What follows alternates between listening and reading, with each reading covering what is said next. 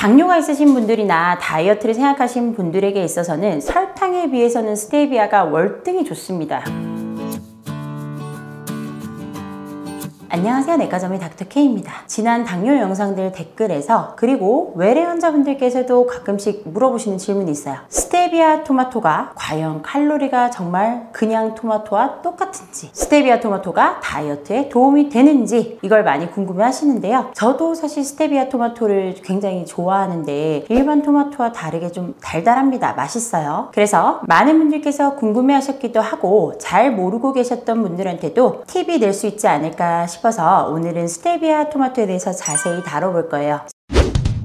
스테비아 토마토가 정확히 어떤 것인지 그리고 어떤 효과가 있고 별 문제는 없는 것인지 자세히 알아보도록 할게요. 스테비아 토마토가 무엇인지 알려면 이 스테비아가 무엇인지 알아야겠죠. 스테비아는 중남미의 열대 산간 지역에서 자라는 국화과의 식물이에요. 이 스테비아라는 식물의 잎과 줄기에는 단맛을 내는 스테비오사이드라는 성분이 들어있는데 이 스테비오사이드가 설탕보다 당도가 200배에서 300배 정도 높은데 칼로리 칼로리는 설탕의 1%도 안 된다는 특징이 있습니다. 이러한 특징으로 인해서 스테비아는 설탕을 대체하는 천연 감미료로 많이 사용되고 있어요. 이 스테비오사이드는 몇 가지 특징이 더 있어요. 설탕을 사용해서 조리를 했을 때 음식의 영양소가 파괴되는 것과는 다르게 스테비오사이드를 쓰면 음식의 영양소가 파괴되지 않고 발효를 막아줍니다. 그래서 식품의 장기 보관에 있어서는 설탕을 썼을 때보다 스테비아를 써야 장기 보관이 더 용이해져요. 이렇게 장기 보관될 뿐 아니라 식감까지도 오래 유지되는 그런 발효를 막아주는 특성이 있어요. 그리고 스테비아에 테르펜이라는 성분이 들어있는데 이 테르펜이라는 당이 인슐린 분비세포를 자극해서 식사 후에 바로 고혈당이 발생하는 것을 예방시켜주기도 합니다. 다만 스테비아는 평소 콩팥, 신장이 좋지 않은 분들이 장기간 오래 사용했을 때는 설사나 복통을 유발할 수 있기 때문에 주의하셔야 돼요. 자 그리고 이 스테비올 사이드는 스테비올 배당체인데 한때 이 스테비올이 고농도에서 독성이 있다는 논란이 있었어요. 그래서 몸에 해로운 것은 아닌지 독성이 있는지에 대해서 여러 가지 연구 결과들이 나왔는데요. 다행히도 스테비올 사이드의 일일 섭취 허용량인 4mg per kg을 초과하지 않을 때에는 큰 문제 없이 섭취가 가능하다는 보고와 연구들이 있습니다. 그래서 적정량 섭취 시에는 뭐 걱정 안 하셔도 될 것 같아요. 4mg per kg이 얼만큼이냐? 말 그대로 내 체중 1kg당 스테비올 스테비아 4mg을 먹을 수 있다는 얘기죠. 그럼 내가 60kg이면 스테비아 하루에 먹을 수 있는 양은 240mg이에요. 그런데 스테비아 1mg이 설탕 200mg과 동일한 당도를 가지기 때문에 스테비아 240mg은 결코 적은 양이 아니죠. 사실 뭐 엄청난 양입니다. 자, 그렇다면 본격적으로 이제 스테비아에 대해서 알아봤으니까 스테비아 토마토 이것은 어떻게 재배되는 걸까요? 토망고로도 불리고 설탕 토마토 뭐 이렇게 불리기도 해요. 자, 이론적으로는 스테비아 농법이라는 것이 있는데 이 스테비아 농법은 스테비아 농축액을 작물의 잎이나 뿌리나 토양에 뿌려서 식물이 스스로 이 스테비아를 흡수해서 생장하게 만드는 그런 농법이에요. 뭐 스테비아가 포함되어 있는 가루를 비료로 쓰기도 하고 그리고 액체로 만들어서 뿌리기도 합니다. 그리고 이 스테비아 농법을 적용하면 토마토의 맛만 달아지는 게 아니고 뭐 여러 가지 장점이 있기 때문에 농가에서는 이 방법을 선호한다고 해요. 하지만 우리가 시중에서 먹고 있는 스테비아 토마토는 과연 이 스테비아 농법으로 재배된 토마토일까요? 내가 지금 먹고 있는 스테비아 토마토가 자연스럽게 잘 자란 스테비아 토마토가 아닐 수도 있어요. 자, 이걸 어떻게 찾아내느냐? 스테비아 농법으로 재배된 토마토는 분류상 농산물에 해당이 돼요. 그렇지만 우리가 구매해서 먹고 있는 스테비아 토마토의 그 뚜껑이나 그 통을 한번 봐보세요. 거기에는 농산물이 아닌 경우가 많아요. 분류가 농산 가공품이나 과체 가공품으로 되어 있는 경우가 대부분이에요. 아니에요. 농산품으로 분류가 되어 있는 것은 아까 말씀드린 스테비아 농법으로 처음부터 재배가 된 그런 토마토인데 농산 가공품이나 과체 가공품인 스테비아 토마토는 재배 방법부터 그렇게 된 것이 아니라 일반 토마토에다가 스테비아를 첨부한 형태인 경우도 있습니다. 같은 이유로 스테비아 토마토에 유통기한이 기재돼 있어요. 그렇게 유통기한이 기재돼 있는 이유가 순수 농산품이 아니라 과채 가공품이나 농산 가공품이기 때문이에요. 즉 우리가 사 먹고 있는 굉장히 비싼 가격의 이 스테비아 토마토는 대부분 일반 토마토에다가 나중에 추가 작업으로 스테비아 토마토로 만든 그런 토마토인 거예요. 자, 보통 스테비아 토마토가 일반 토마토에 비해서 거의 1.5배에서 2.5배까지가 비싸요. 자, 그런데 순수 농산품인 스테비아 농법으로 재배된 토마토라면 사실 우리가 합당한 가격이라고 생각할 수 있어요. 그런데 자, 가공된 토마토라면 그냥 일반 토마토 사서 스테비아를 뿌려 먹으면 되잖아요. 그렇게 뿌려 먹는 게 가격적인 부분에서는 좀 더 효율적이고 사실 좀 더 어떻게 보면 깔끔하기도 하죠. 사실 근데 저는 매번 토마토를 이제 뭐 싸가지고 다니면서 먹을 때가 있는데 매번 여기다가 스테비아를 뿌려 먹거나 뭐 아니면 스테비아까지 또 싸고 가지고 다녀야 되잖아요. 그게 조금 번거롭기 때문에 스테비아 토마토를 가끔 그냥 사 먹기도 합니다. 그런 경우가 아니고 내가 집에서 먹는 경우라면 일반 토마토에다가 스테비아 찍어 먹으면 가격은 저렴해도 효과는 똑같습니다. 자, 어쨌든 이런 식으로 우리가 스테비아 토마토를 이제 섭취하게 되는데 어떤 효능과 부작용이 있을까요? 2018년에 미국 영양학회지 논문에 따르면 표준 체중인 사람 19명 그리고 비만인 사람 12명을 대상으로 스테비아, 아스파탐, 설탕을 각각 크림치즈에 넣어서 섭취하게 하고 식후 혈당과 식후 인슐린 레벨을 비교해 봤습니다. 그런데 스테비아, 아스파탐, 설탕 중에서 스테비아를 섭취한 그룹이 설탕과 아스파탐을 섭취한 그룹에 비해서 식후 혈당과 식후 인슐린 레벨이 모두 상대적으로 감소했다는 결과가 있어요. 또 다른 보고에 따르면 2형 당뇨가 있는 환자를 대상으로 스테비아 캡슐 1500mg을 3개월 동안 매일 복용시켰을 때 공복 혈당과 당화혈색소가 모두 호전되었다는 결과도 있습니다. 그리고 어떤 논문에 따르면 뭐 혈압 강하 효과도 있다 이런 얘기도 있어요. 즉 혈당, 당화혈색소, 혈압, 인슐린까지 여러 가지 면으로 봤을 때 설탕보다 스테비아가 상대적으로 여러 가지에서 다 훨씬 낫더라 라는 효과가 증명되어 있기 때문에 당뇨 환자에 있어서 설탕보다는 스테비아가 훨씬 더 좋은 선택지입니다. 자 그리고 이 밖에도 스테비아는 입속 충치균이 분해하기 어렵다는 그런 장점이 있어요. 그래서 단맛을 내지만 자일리톨처럼 충치를 예방하는 효과도 있습니다. 자 이제 다만 문제가 되는 것은 어떤 경우일까요? 당연히 너무 과량으로 많이 먹는 경우죠. 이 스테비오사이드는 이뇨작용을 촉진시키기 때문에 콩팥이 안 좋은 분들은 굉장히 조심하셔야 돼요. 그리고 혈당 조절이 잘 되지 않는 분들이 있어서 저혈당을 일으킨다는 보고도 있고 장에서 흡수가 잘 안 되기 때문에 설사나 복통도 유발하는 경우가 많습니다. 사실 그리고 가장 문제가 될 수 있는 부분은 자 이제 내가 다이어트를 시작했어요. 단 거를 원래 좋아합니다. 그런데 스테비아 토마토를 먹었는데 너무 달고 맛있는 거죠. 그래서 뭐 스테비아 토마토를 하루에 몇 박스씩 먹는 거예요. 실제로 이제 뭐 다이어트 할 때 저도 좀 단 걸 좋아해가지고 스테비아 토마토를 좀 많이 먹었는데 뭐 나중에 알고 보니까 이게 순수 농산품이 아닌 거죠. 가공품인 거예요. 그러다 보니까는 내가 과연 먹은 스테비아 토마토에 스테비아가 얼마나 들어있을지를 알 수가 없어요. 그렇기 때문에 스테비아 토마토 드셔보신 분들은 아시죠? 굉장히 달아요. 자, 근데 내가 이제 먹은 그 스테비아 토마토 한 알에 스테비오사이드가 얼마나 들어있을까요? 그걸 써놓은 부분은 거의 없더라고요. 그래서 이 스테비오 토마토가 칼로리가 일반 토마토랑 똑같다라고 이제 그냥 무작정 생각을 하고 많이 먹거나 하면 내가 하루에 얼만큼의 스테비오사이드를 먹었는지 아무도 알 수 없기 때문에 1일 섭취 허용량을 초과하는 경우도 있습니다. 한두 번쯤 섭취량을 초과하는 것은 큰 문제가 되지 않지만 앞서 말씀드린 콩팥이 안 좋은 경우라든가 뭐 여러 가지 건강에 문제가 있다든가 당뇨가 조절이 잘 안 되는 경우 뭐 이런 경우에는 여러 가지 부작용들이 나타날 수가 있어요. 더군다나 나는 토마토랑 칼로리가 똑같다고 생각해서 스테비아 토마토를 먹었는데 다이어트가 안 되고 있는 거죠. 왜냐하면 너무 많이 먹었기 때문에. 그렇기 때문에 다이어트를 하려고 한다. 이런 분들은 스테비아 토마토를 마냥 먹을 것이 아니라 토마토를 그냥 사서 스테비아를 칼로리 계산해서 찍어 먹는 게 낫다는 얘기죠. 내가 이렇게 매번 찍어 먹을 자신이 없다면 그냥 스테비아 토마토를 사서 이거를 그냥 이제 몇 알만 먹는 거예요. 그렇게 딱 제한해 놓고 드시면 됩니다.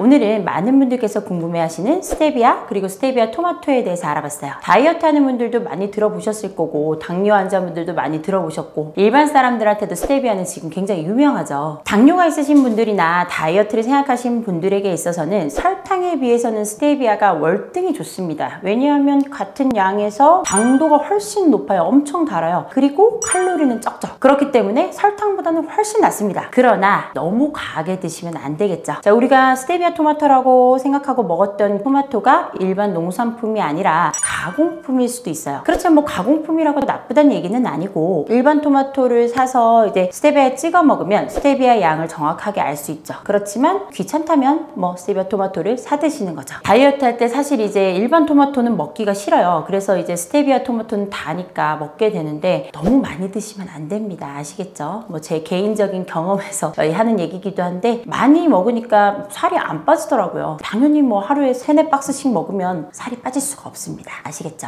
자, 언제까지나 이런 스테비아라는 것이 설탕 대체용으로는 좋지만 과하게 먹진 않는 거 그거 꼭 명심해 주시고요. 오늘은 스테비아 토마토와 스테비아에 대해서 살펴봤어요. 오늘 들으신 내용이 마음에 드시면 구독과 좋아요 알림 설정 부탁드릴게요. 감사합니다. 내과전문 닥터 K였습니다.